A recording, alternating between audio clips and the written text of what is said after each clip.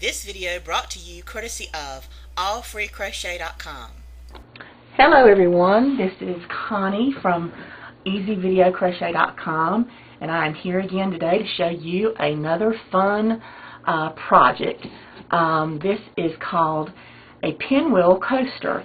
Uh, this uh, pattern I got from redheart.com and I'll have the link on the website and it's for a placemat or a coaster and um, so we're going to follow these instructions and like I said I'll have um, the pattern link for you so that you can go to that.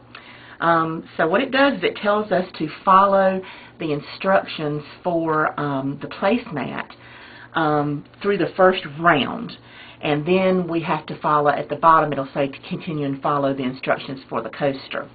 So I'm going to set that coaster aside. Alright, so the pattern, um, I'm going to use a size I hook. This is the size that I needed to get the size coaster I wanted. Um, you can try uh, another size. I, I, the pattern doesn't even call for a size because um, they just say to use whatever size to get the gauge that you want. So if you if you use an I and your coaster is too big around, uh, go down a hook size, and if it's too small, go up a hook size. So I'm using I, and the pattern states, um, and like I said, we're, we're following the placemat instructions through the first round.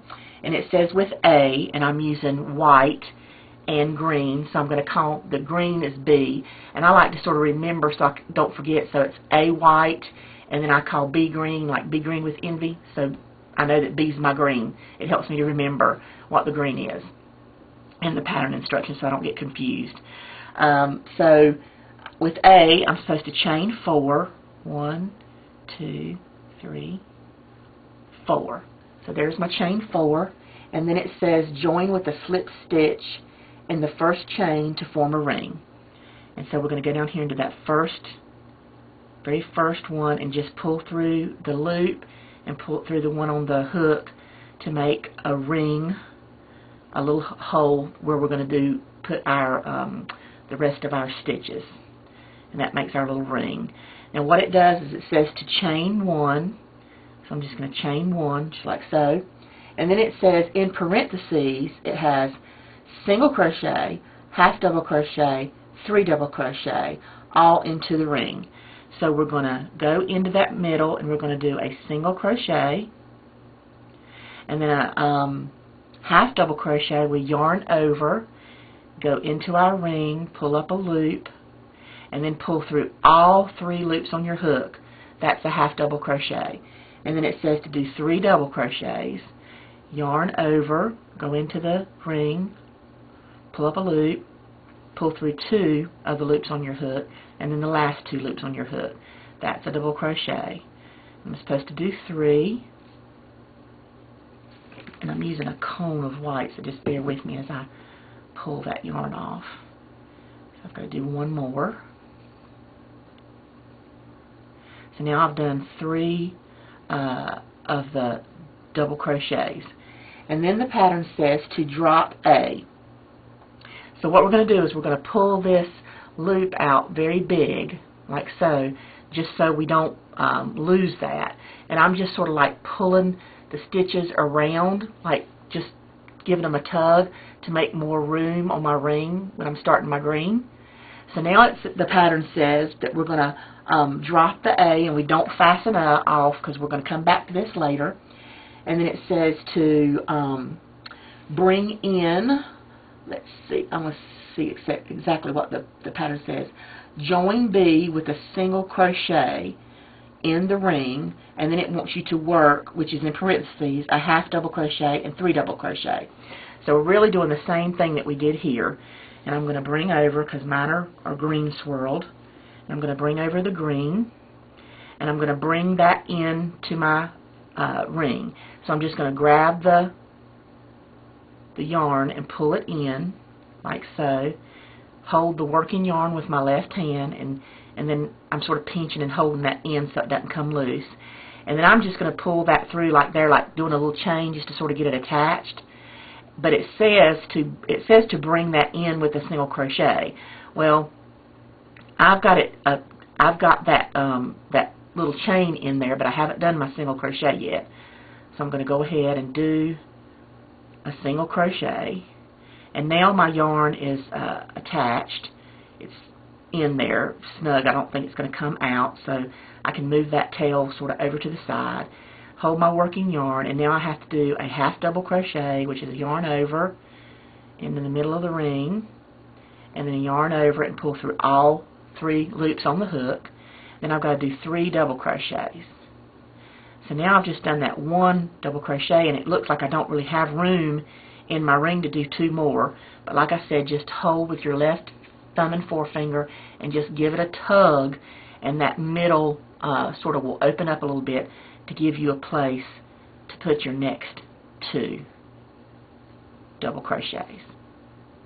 So then we'll go in there and do two double crochets with that green, just like so.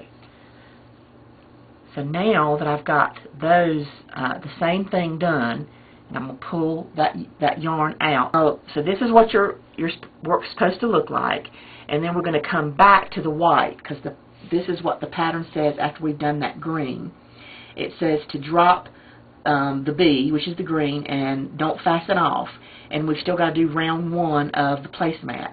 And then that says to pick up the A, which is our white, and we're going to work two double crochet into each um, B stitch. So I'm going to come back to my to my white, snug that end up because I had a big old loop there, and then what I'm going to do is there's five uh, stitches here. So if you count the V's, one, two, three, four, five, and you just don't don't forget that first one there. And I know in the green it's hard for you to see, uh, but right over here there's a place to go under the two V's. Um, and what I want to do is do two double crochets into the top of each one of those. So I'm going to yarn over, and you I have to really push my hook in to sort of get it into that first one. And then once you get it into that first one, it's not difficult. And to go into that same stitch. Because what it says is that I'm supposed to have um, 10, uh, let's see, I believe it's 10, that makes 10 double crochets uh, when you start counting from here. So that's why I know there's five stitches because it's going to be 2, 4, 6, 8, 10. So if you don't have 10, you've done something wrong. You're, you're not uh, seeing that very first double crochet. So now I'm going to go ahead and continue and do two, like I said, into the top of each one of these stitches. Another one. And then when you get to this point, you've you've got that uh that green loop, you know, out there really big, sort of like gets in your way. So if you want to sort of take that loop and the working yarn and sort of pull it like this with your finger, you know, just to sort of hold it out of the way so that you can see your stitches, you can do that. Now I'm going into that fourth one and doing my two double crochets into it. Yet. There again, that loop's popping up. I'm just going to sort of push it to the back. And then I've got one more set of two double crochets in there like so. Okay, just like that. And now um, I'm going to pull that loop really big because now we're going to go back to the green. When we're at this point, it's time to pick up the green again.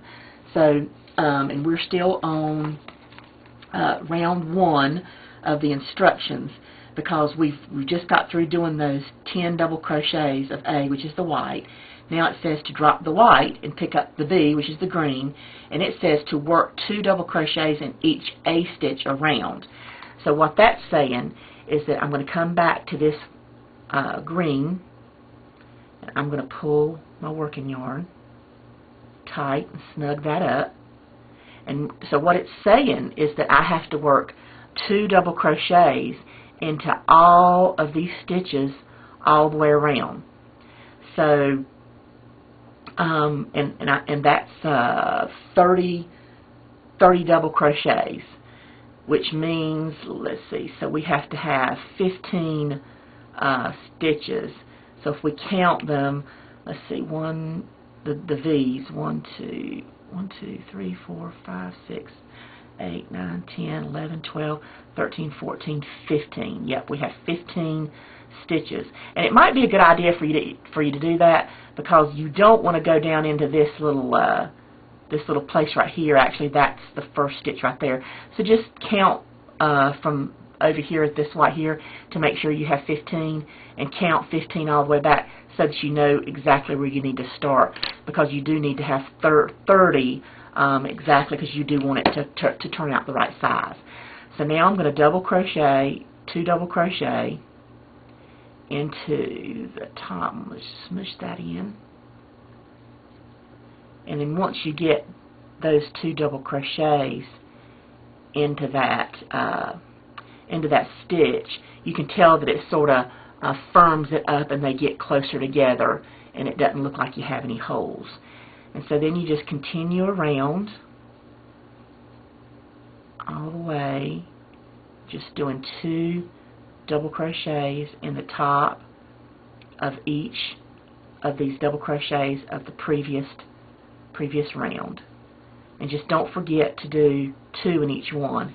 And a lot of times what I like to do so that I don't forget, um, and when I'm when I'm going through and I'm counting, because like now if I was wanting to count like 15, and I had started over here, I would say one, uh, two, two, two, three, two, and then I would say this is the fourth double crochet. I'd say four, and then two. And when I say two, I know that I've got to go down two in that one, and that just helps me to keep track.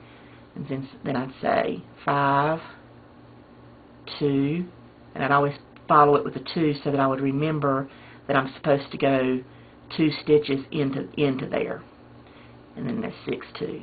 And then I just want to continue uh, that green all the way around here to the end.